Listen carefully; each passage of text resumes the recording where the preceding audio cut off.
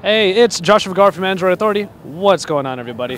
And we're coming to you actually for the final time for a recap of our days here at CES 2015. Yes, we did bring you a day zero, chronicling a couple of days before the show actually started, and then we brought you a day one, and then it got crazy after that.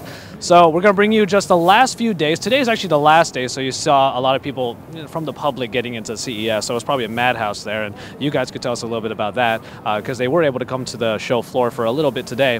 But nonetheless, we saw a lot of great products ever since then. I'm here joined, of course, by Lanh, our fearless leader Darcy, and Kevin the Tech Ninja. Give us a hooyah. Hooyah! so, we're standing here in the promenade uh, between the LINQ and. Actually, we're in the LINQ. And behind us is the famous high roller Ferris wheel. We're going to get on that probably in a little bit, and you'll see some footage of that coming up in a highlight reel that I'm going to have for you.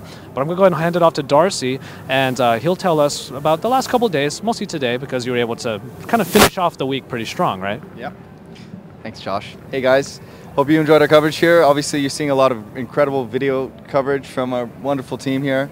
Uh, I'm at this point. Usually, I get uh, kind of sentimental and very grateful. You know, we've all been working so hard to deliver you the very best of all things mobile technology and Android, and we're very, very fortunate to have great relationships with a lot of these wonderful manufacturers that just want to create awesome products that you guys love. And our job is just report on everything as objectively as possible to make the highest quality content so that you can see what's coming in the future. Um, obviously, I think you know we have our awards coming up here. Uh, but today we went stopped by BLU, who has some really competitive price products, sub 200 LTE. They're using a lot of Samsung technology, a lot of AMOLED panels. They have a 5,000 milliamp phone coming, uh, sub 179 price point.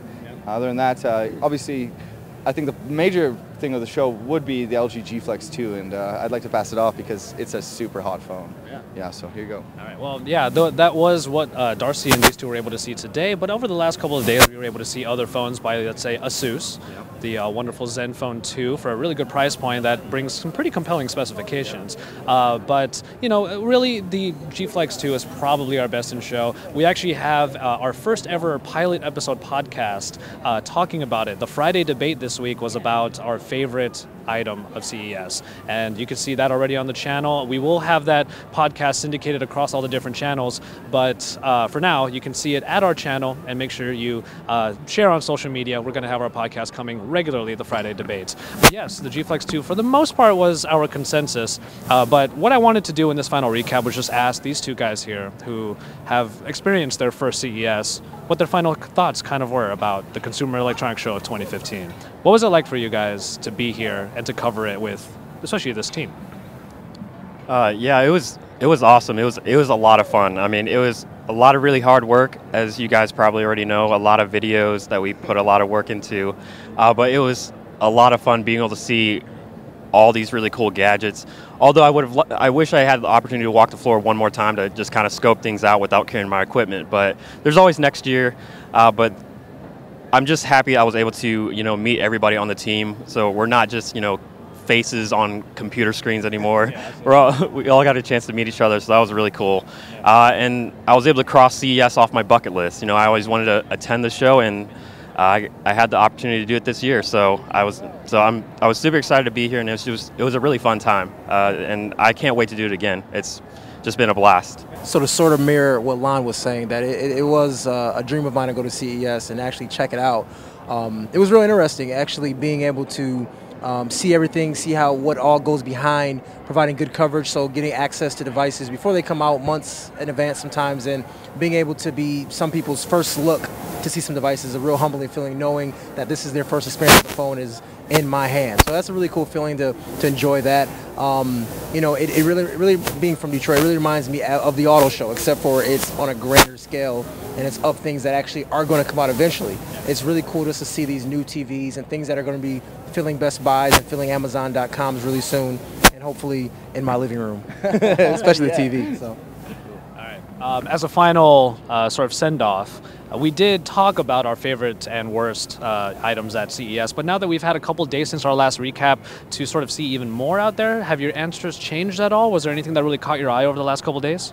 Uh, no, my answer hasn't changed. It's still the uh, the 4K TVs from Sony uh, running Android TV. But we did get to check out BLU today, um, and they have some really cool products actually. Like they're really they have really nice build quality. They're really awesome phones, especially for the price, like what you're getting for the money. It's it's really kind of cool what they're doing. So. Um, I know a lot of people don't really look at them too much, but they're definitely worth checking out, especially if you want like a really high quality phone without paying, you know, uh, six, seven hundred dollars to get one. So, uh, so check out BLU is really cool today, and you know they're they're worth worth looking at if you're looking for a great budget phone. So just look at our, you know, our awards, our top picks of CES. So we had the Fugoo XL. It's like an indestructible speaker that sounds, what in my opinion, better than the Bose SoundLink two or three.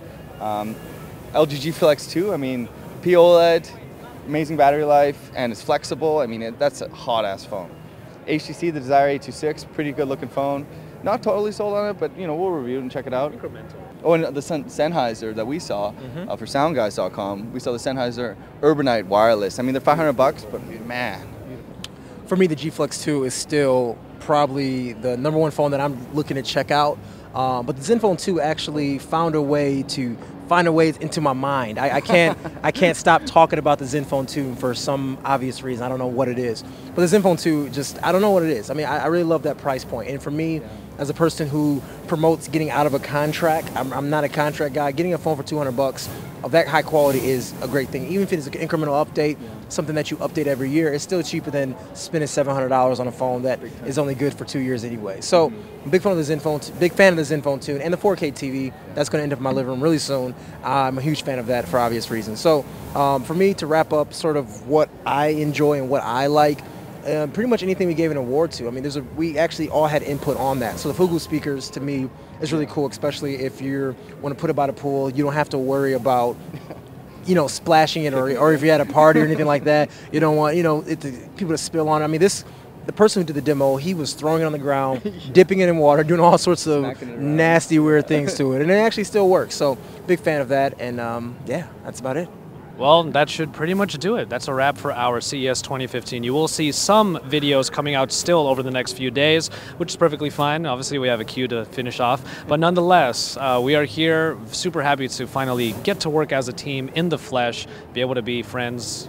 Uh, more than just colleagues over the internet, and that that is a sentiment that I share, and I'm sure we all do as well. Oh, coming in. come on, come on. Oh, oh. camera, camera, camera, camera, camera, camera. But in any case, uh, make sure you stay tuned for the rest of our coverage of CES 2015. Also, coming up a highlight reel where you see us not only having fun together, but having fun with some of our favorite people in the general industry that we are in. So keep it tuned to your for Android Authority. St- uh, stay subscribed and subscribe if you haven't already. And make sure you keep it tuned here because we are your source for all things CES 2015 and Android. We're going to get on the high roller and we'll see you beyond.